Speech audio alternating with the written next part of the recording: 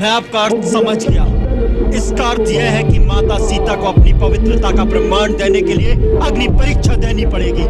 लक्ष्मण तो याद रखिए कि मैं भाभी को अपनी माता समझता हूँ और उनका पुत्र होने के नाते मैं आपके विरुद्ध भी विद्रोह कर सकता हूँ।